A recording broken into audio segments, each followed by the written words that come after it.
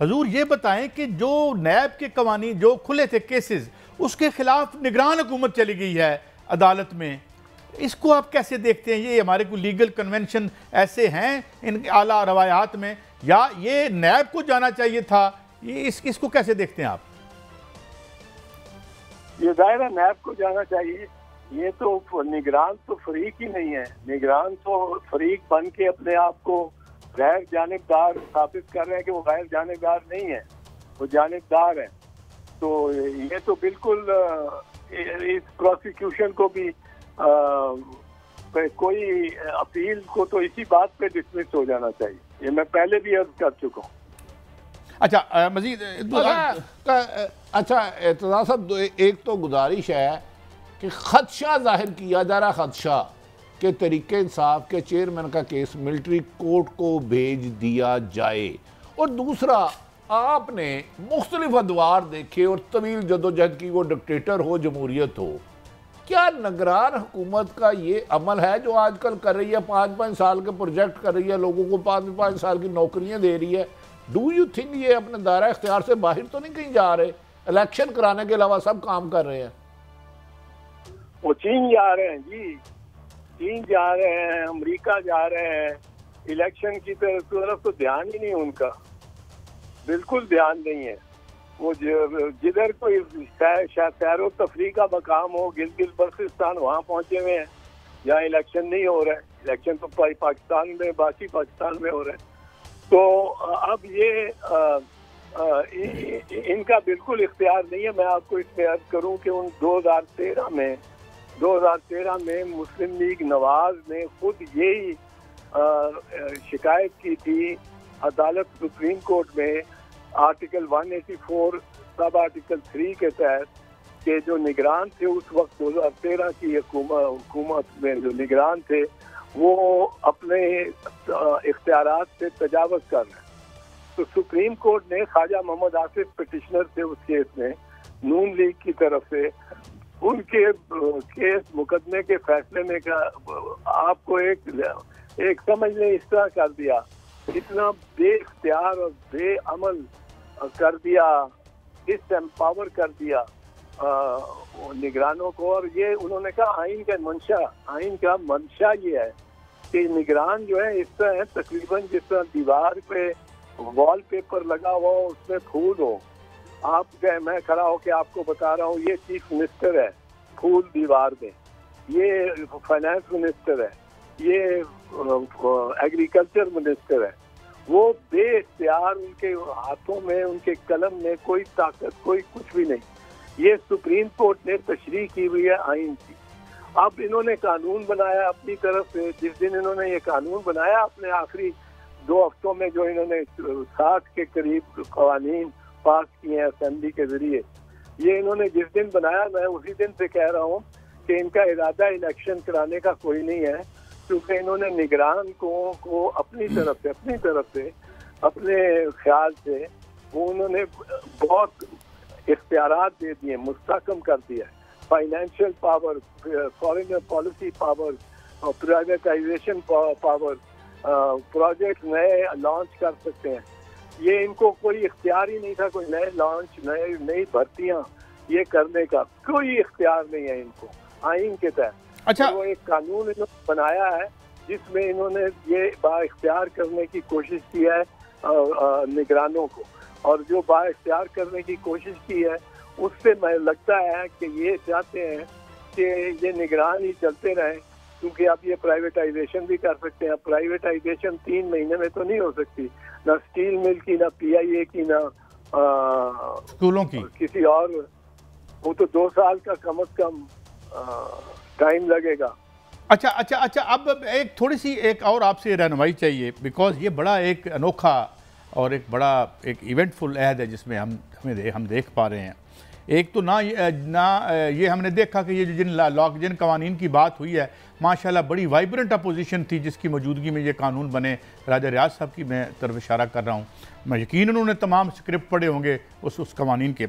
मगर सवाल मेरा आपसे ये है कि कुछ और भी तारीख नई रकम हो रही है और होती नज़र आती है आगाज़ जिसका हुआ था इसाक डार साहब की आमद से कि हल्फ उठाने के बाद उन्होंने अदालत में जाने की जो है वो वो वो, यानी की थी। अब ये मियाँ साहब आ रहे हैं, निजी महफिलों में कह रहे हैं, मैं अगला पीएम हूँ। हमने भी मान लिया है कि लगता है यही अगले पीएम है। वहाँ हमारे सफ़ीर उन्हें अलविदा कह रहे हैं, उन्हें प्रोटोकॉल दे रहे हैं। तो do you think we are adding great and new dimension to our already you know चलें वो आइन तो ग्रेट ही होता है। तो डोंट यू थिंक ये पावर स्ट्रक्चर बदल रहा है, आइन पसपा है और अब कहानी ऐसी ही चलेगी? क्या लगता है आपको? यहाँ तक तो काजी साहब आइन और कानून का ताल्लुक है। वो आप और मैं और भट्टी साहब फ़र्ज़ कीजिए किसी पार्क में सैर कर रहे हैं तो हमें देखते हैं कि एक साहब वहाँ खड़ा है और उसने जेल की यूनिफॉर्म, कैदी यूनिफॉर्म पहनी हुई है स्ट्राइप्स वाली, वो कैदी यूनिफॉर्म। हमें पता लग गया ये जेल से निकला हुआ कैदी है। अब हमारे पे फ़र्ज़ है, हम हम ना पुलिस है, ना एस एस है, ना रेंजर्स है ना हम कोई जज है ना कुछ। हम आम सिटीजन हैं हम पे ये फ़र्ज़ है आइन के तहत कि उसको गिरफ़्तार कराने में करने में या करें या कर, कराने में मुमिद और मुआवन साबित हो। और उसको उसकी जे एक कैदी की जगह कहाँ है? वो जेल के अंदर। अब ये कैदी सिर्फ़ आम कैदी नहीं है। एक होता है मुलजिम जिस पे इल्ज़ाम होता है। जो अदालत में मफरूर हुआ होता है, पेश नहीं हुआ होता, वो प्रोटेक्टिव बेल लेता है कि जी मैं लाहौर इस वक्त उतर रहा हूँ, मैं दूसरे दिन सुबह जब पहुँच जाऊँगा अदालत में सेशन कोर्ट फलानी में, और नौ बजे मैं पहुँचाऊँगा इंशाल्लाह तीन बजे रात को मेरी फ़्लाइट पहुँचेगी। सुबह नौ बजे पहुँचाऊँगा इस दौरान के लिए मुझे दे दें आप एक प्रोटेक्टिव बेल यहाँ वो भी नहीं हो सकती क्योंकि ये मुलजिम नहीं है ये तो मुजरिम है। इन्होंने अदालत में तो पेश नहीं होना सरेंडर नहीं करना। इन्होंने तो थाने में सरेंडर करना है बल्कि इनके लिए पीछे तो थाना खुद पहुँचना चाहिए। और बा, बात किसी को अच्छी लगे या बुरी लगे कि आइन और कानून की यही बात है कि आइन के तहत इनकी गिरफ्तारी मियाँ साहब की गिरफ्तारी जहाज़ के अंदर हो जानी चाहिए। अच्छा अच्छा साहब दो सवाल जरा दोनों सवालों पे मेहरबानी आपने करनी है। क्या जब ये लाहौर पाकिस्तान की हदूद में आते हैं लाहौर एयरपोर्ट या इस्लामाबाद क्या एफ़ आई ए जहाज़ से भी इन्हें गिरफ़्तार कर सकती है? दूसरा पीपल्स पार्टी भी लेवल प्लेइंग फील्डिंग पे सख्त एतराज़ा कर रही है। नगरान हुकूमत बादी नज़र में पीपल्स पार्टी के मुताबिक मुस्लिम लीग नून का तसलसल है। क्या ऐसी हुकूमत के जेर साया होने वाले इलेक्शन खदशात नहीं होंगे? क्या शिफाफ हो सकते हैं? पहली तो बात आपने की है कि क्या गिरफ़्तार जहाज़ पे किया जा सकता है। पिछली दफ़ा भी जब मियाँ साहब आए थे तो जहाज़ पे जाके ही अंदर जाके ही उन्होंने गिरफ़्तार किया था because he was now on Pakistan on Pakistani फॉयज वो पाकिस्तान की सरजमीन पर उतर चुके थे और जहाज़ में बैठे थे। लेकिन ये कोई नहीं उनको ये कानून तो इजाज़त देता नहीं, ना आइन देता है कि उनको हेलीकॉप्टर पे ले जाके और लाहौर लाया जाए, जहाज़ से या हेलीकॉप्टर से, फिर जलसे में जाना जाए, जलसे से तकरीर करनी किए ये और तो किसी को किसी को भी नहीं मिल सकती ये सहूलत। अगर मियाँ साहब को मिलती है तो फिर कोई डील ही हो सकती है, पर ये कानून और आइन की सरियन खिलाफ वर्जी होगी। अब रही बात निगरान हुकूमत के बारे में जो आपने की है, और पीपल्स पार्टी का को शिकवे हैं बहुत। निगरान हुकूमत जो सिंध में कर रही है, वो बहुत इकदाम हमारे मुखालफी के हक में कर रही है। उनको तकरीबन हुकूमत बख्शी भी है उन्होंने। और थाने, कचहरी और ज़िले ज़िले में हर जगह ही उनका, उनको भारी बताने की कोशिश कर रही है।